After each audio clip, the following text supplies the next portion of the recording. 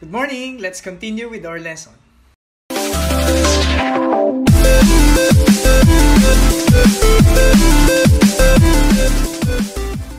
Next, statement of changes in equity. Kung babasahin mo yung chapter 7, okay, na later on babasahin natin, your statement of changes in equity shows what affected the equity portion of the accounting equation. Nandyan yung withdrawal, nandyan yung original investment, nandyan yung net income also. So your statement of changes in equity would appear as follows. Ocampo capital beginning, 580,800. So kung makikita mo, ilan ba yung beginning natin? Let's take a look at your trial balance.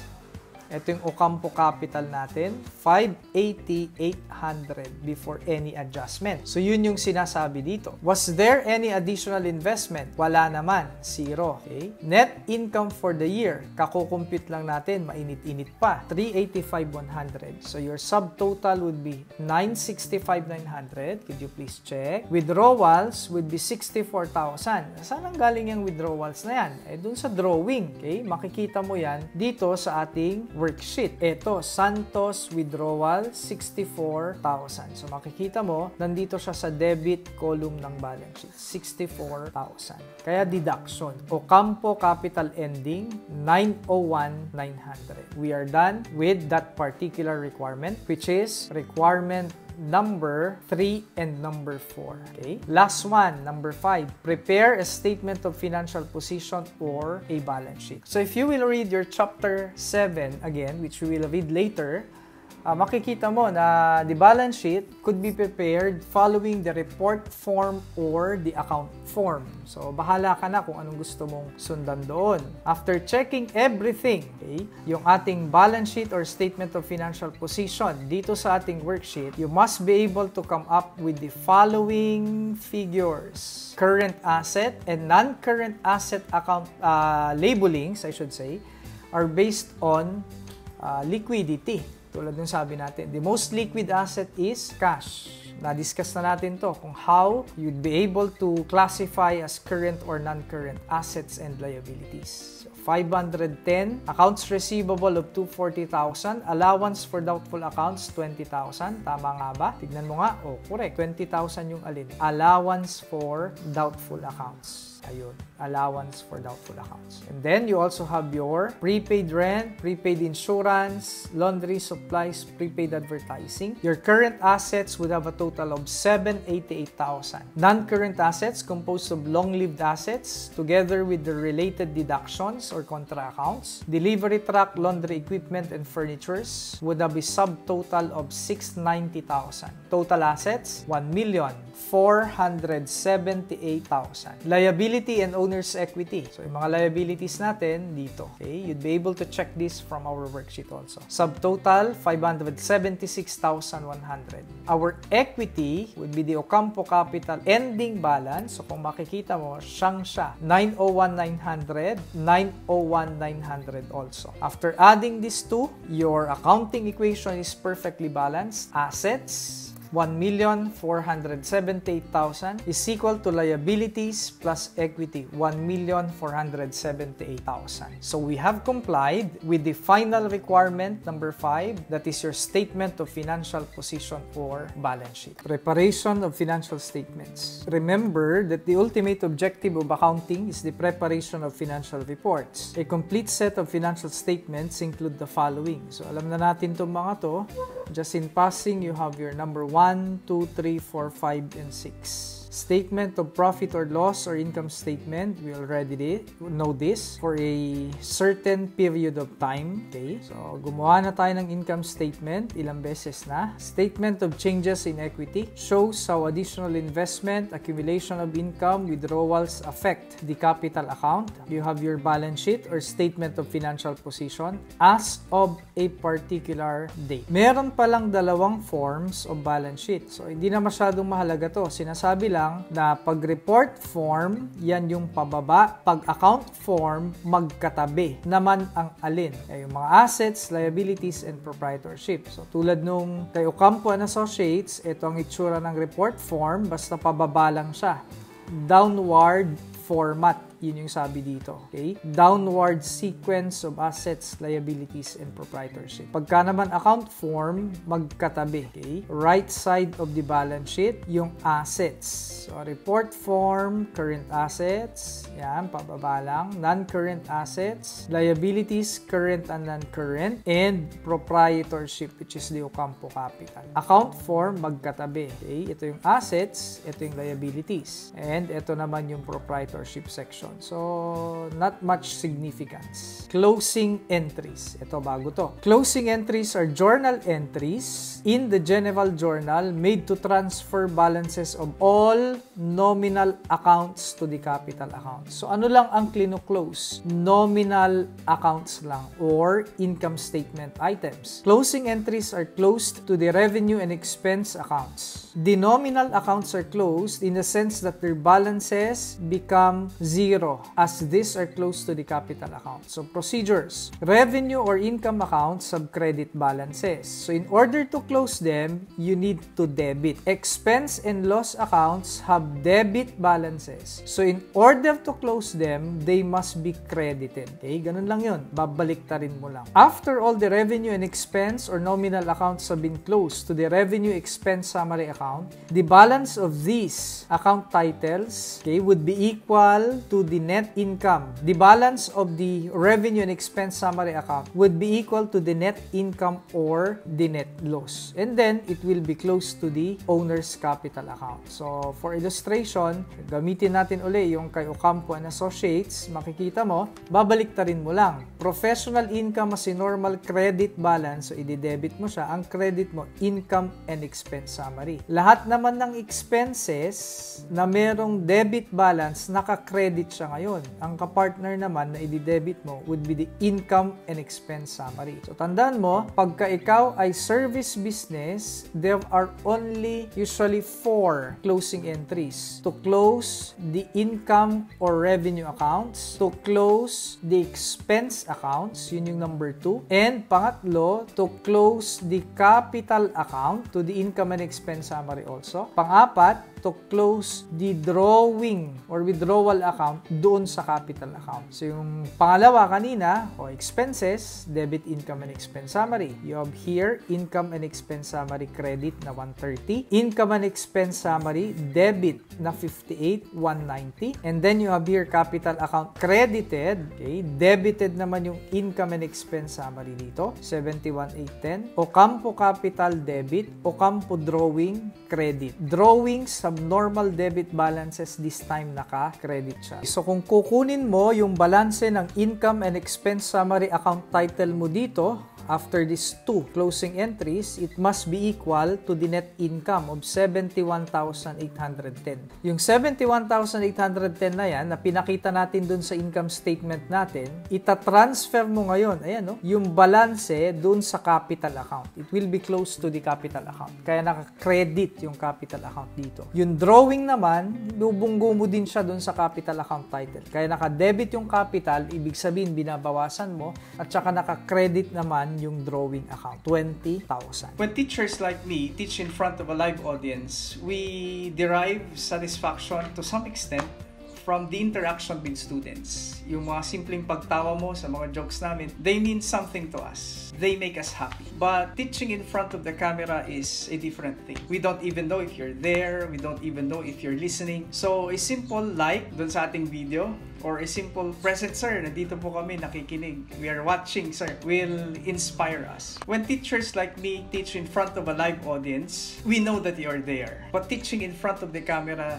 is not merely sharing our content. It means sharing our time, our devotion, and above all, our passion. So, yung simpleng pag-subscribe mo sa amin, it lets us know that you are there and we are here to continue what we are doing. So, ngayon pa lang, nagpapasalamat na kami. Diyan sa yung subscription, uh, it inspires us. It, since it inspires me to wake up every morning, prepare discussion materials, and continue what I am doing. So, thank you so much. Please continue sharing and liking and subscribing. Thank you. Next, after closing entries. The closing entries are to be posted to the ledger accounts. After posting, the expense and revenue accounts together with the drawing account will have zero balances. Correct. They're all completely closed. Since they have been closed, they are ready to be used in the next accounting period. The real accounts will have the respective balances, ending balances. Okay? So meron tayong unadjusted trial balance. Meron tayong adjusted trial balance. This time, meron tayong post-closing trial balance. Anong ibig sabihin ng post-closing trial balance? After ng closing entries, patay na lahat ng nominal account. So, ang natitira na lang yung real accounts. Yun ang gagawan mo ng trial balance. And that would be called post-closing trial balance. Okay? Sabi dito, after the nominal accounts have been closed, only the real accounts have existing balances.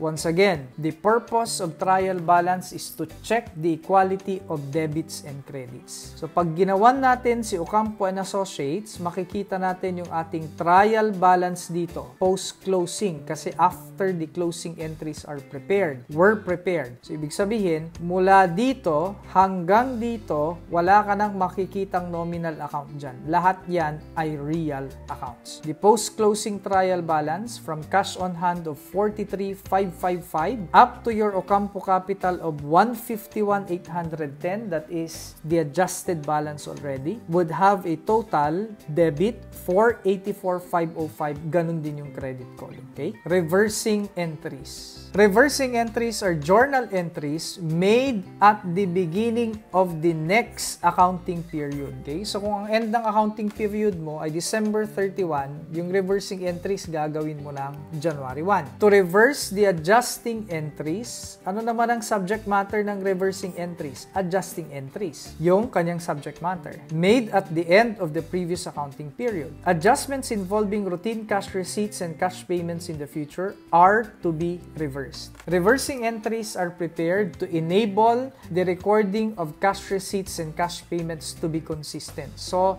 may nagtanong, Sir, anong purpose ng reversing entries? Pagka kasi sinabing reversing entries, pabalik ta rin mo lang. Okay? Yung naka-debit, iki-credit. Yung naka-credit, i-debit. Na ano? Na adjusting entries. Dun sa mga adjusting entries. So ano daw ang purpose ng reversing entries? Bakit gagawin mo pa yon? Isa lang ang sagot. Consistency. Okay? To be consistent. As stated, not all adjusting entries will require reversing entries. Hindi lahat. Only adjusting entries that fall under this four classifications. So, ang mahirap ay hindi yung paggawa ng reversing entries. Ang mahirap yung pag-identify ng kung alin ang i-reverse. Okay? Pag hindi siya nagfo-fall dito sa apat na to, it must not be reversed. Itong apat lang na to ang nire-reverse. Yung paggawa kasi, madali lang. Babalik rin mo lang. Okay? So, to illustrate, tignan natin yung mga adjusting entries ni Ocampo and Associates. Alright? Ito ulit yung adjusting entries niya. Yung sampo, okay, na halos na memorize mo na since chapter 6 pa. Okay? Yung una natin, office supplies expense, office supplies, hanggang dun sa number 10 na doubtful accounts expense, allowance for doubtful accounts. Ang tanong, alin dyan sa sampung yan ang ire-reverse? Ang sagot, yung mga nagfo-fall dito sa apat na to. Number 1, yung mga entries Okay? Adjusting journal entries for prepayments if at the time of payment, the expense method was used. Ibig sabihin, pagka-asset method ang ginamit, hindi i-reverse. Number two, adjustments of pre-collections. If the, at the time of pre-collection, the income method was used. Ibig sabihin, pagka ang ginamit ay liability method, hindi i-reverse. Number three, accrual of expenses. And number four, accrual of income. Kaya nga may mga estudyante, yung mga hindi nag-aaral, pag-aaral eh. Ginagawa nila, para daw safe, lahat ng mga adjusting entries nire-reverse nila. Binabaliktad lahat yung 1 to 10. Say for example, kay Ocampo and Associates. Mali yun. Kasi I strongly suggest dun sa mga kapwa ko teacher, pag nag-check tayo ng reversing entries, it must be right minus wrong. Ayan. Para hindi nila lokohin yung reversing entries. Kaya mga estudyante, you must be able to identify alin-alin yung mga entries falling under these four definitions of category or categories. Okay? Etong apat na to lang ang nire-reverse. So, tignan natin. Sa sampung ito, alin ang nagfo-fall dun sa apat na yon Okay? 1, 2, 3, 4, 5, 6, 7, 8, 9, 10. Yung una, debit office supplies expense, credit office supplies. Ano ito? Originally, therefore, the debit was office supplies and the credit was cash. Ibig sabihin, this was you, this was made originally using the asset method. Hindi ito nire-reverse. Okay? Depreciation expense, accumulated depreciation, adjustment number 2, hindi ito nire-reverse. Adjustment number 3, ganun din, hindi din yan nire-reverse. It does not fall under these four categories. Okay? Makikita mo. Number 4, professional income and earned professional income. Aba, dahil naka-debit ito, ibig sabihin sa original entry, it was credited. Anong ginawa? Debit cash, credit professional income ito in the original entry. So kung naka-credit siya sa professional income, it means to say that the income method was used. Nagfo-fall siya under second category. Income method was used. So kailangan siyang i-reverse. Paano mo i-reverse yan? Eh di madali lang, baliktadin mo. Debit professional income, dapat naka-credit yan. Unearned professional professional income naka-credit, dapat naka-debit yan. Kaya makikita mo dito, debit and earned professional income, credit professional income. First, reversing entry. Ayan. Next, prepaid insurance, insurance expense. Ano kayang method ang ginamit dito? Originally, what was the journal entry? Okay? Dahil naka-credit ito, ibig sabihin, naka-debit ito sa original entry. The entry therefore was debit insurance expense, credit cash. Okay? Ibig sabihin, expense method ang ginamit. Kailangang i-reverse ito. Okay? It falls under the first category, expense method. Ibig sabihin yan, babalik ta rin mo. Dapat naka-credit naman to, naka-debit naman to. Debit, insurance expense, credit, prepaid insurance. Ayan. Next, prepaid taxes and licenses. Taxes and licenses expense. Aba, naka-credit siya. So, originally, ibig sabihin naka-debit yan. Anong credit? Cash. Debit taxes and licenses expense, credit cash. Expense method din ang ginamit dito. That is category number 1. Okay? Expense method was used at the time of payment or the original entry. It has to be reversed also. Okay? Debit, therefore, baliktaran lang. Taxes and licenses expense. Ayun. Credit, prepaid taxes and licenses. Next, entry number 7. Prepaid rent, rent expense. Ayun ulit. Same scenario. Number 7 needs to be reversed. Debit, rent expense. Credit, prepaid rent, 44,000. Next one, number 8. Okay? Accrual of expenses ito. Ire-reverse din siya. Kasali siya sa third category. Adjustment for accrual of expenses. So, number 8 has to be reversed. Debit, accrued salaries payable, credit salaries expense, 2,800. Ah, okay. Number 9 na tayo. Accrued interest payable, interest expense. Ayan. Number 6. That is our last one. 1,750. Kasi, yung number 10, merely provision ito for doubtful accounts. So, hindi siya i-reverse. Out of the 10 na adjustments natin, anim ang dapat may reversing entries. Okay? 6. You should be able to identify them. Okay, class. So that's the bell already. That's it for this meeting. Uh, so, ganun-ganun lang, class. A few minutes of your time every day, imbis na kung ano-ano yung pinapanood mo, just make it a habit to watch our videos pa bilang tulong na rin dun sa sarili mong pag-aaral. Why? Kasi tatandaan mo, hindi lahat ng nababasa mo ng mag-isa ay maririnig mo. At hindi din lahat ng mga naririnig mo ay mababasa mo. Tulungan yan. So with that, see you in our next meeting. See you in the next lesson.